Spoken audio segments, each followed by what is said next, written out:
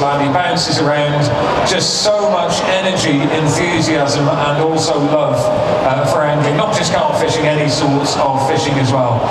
You will not fail to be entertained. You've been entertained already by Urban Baits. We've got him live on stage now. It's Alan Blair. Hello everyone. Hope you're all good. Thanks for coming and listening.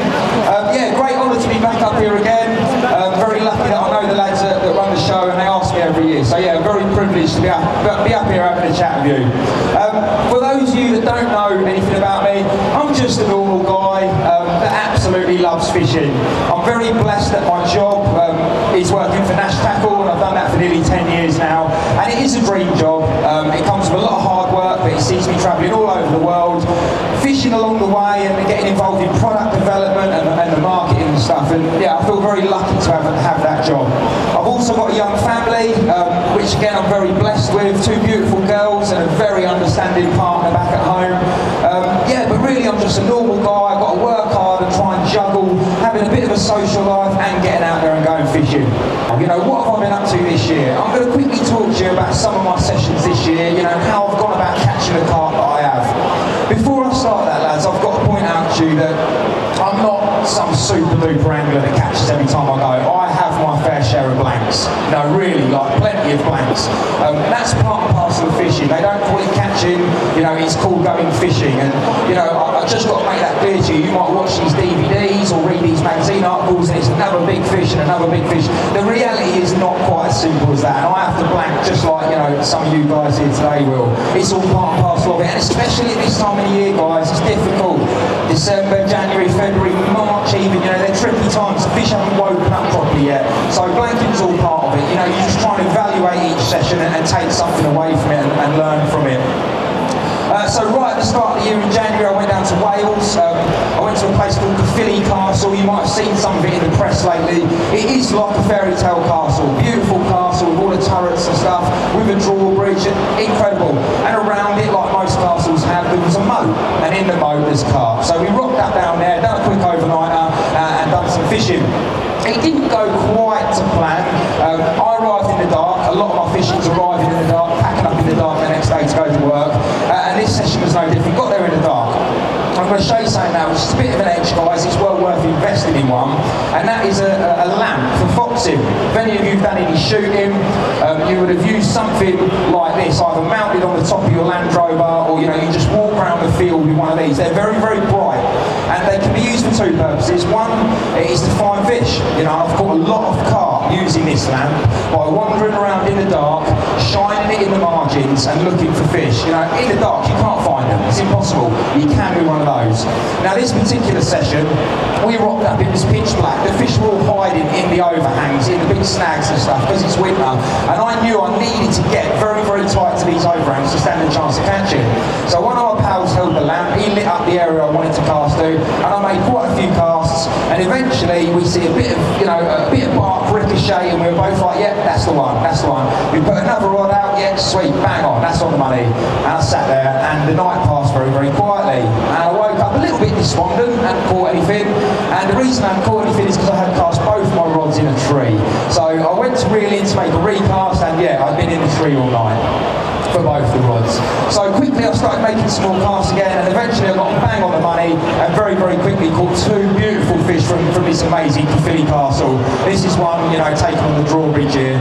Again, it's well worth checking out guys. It's probably not the, the first place you associate with carp fishing but there's some really good fishing, you know, on offer in Wales.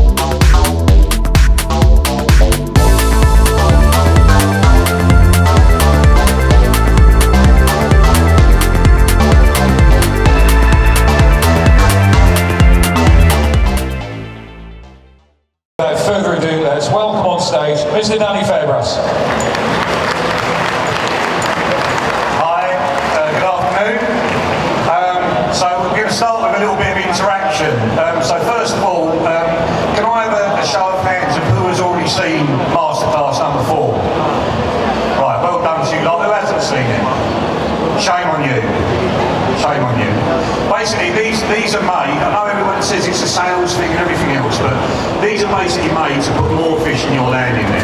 And yes, of course, we want you to use our products because we believe in them and we think they're going to work. But the whole point of this is to catch you more fish, is to show you exactly what we're doing. Um, so hopefully you can put it into your own fishing and get more bites. Um, so if we go, we're going to do a little bit. I apologise to the people who've seen it already. We're going to do a little bit about one of the sessions that we had, uh, Daryl and myself in Germany. Um, this is a 65 acre lake in northern Germany near Hamburg. Um, if any of you have got German friends, German family or whatever, you should be going to Germany and going carp fishing because it is amazing. Um, they keep it very, very quiet. Even my own employees will not tell me where they're fishing. Can you believe that? I'm paying their wages and they will not tell me the name of the lake they're fishing. Um, basically in Germany there is a, a, law that says you have to kill everything that you catch. So every carp, pike, chub, whatever you catch is supposed to be killed because apparently it's cruel to put them back. So the law is you, you can't fish for sport. Um, this place has got around it, this is one of the few day ticket lakes or pay waters in Germany and it's got around it everything over 50 centimetres is allowed to go back in the lake um, so that they can make babies um, and more fish can grow.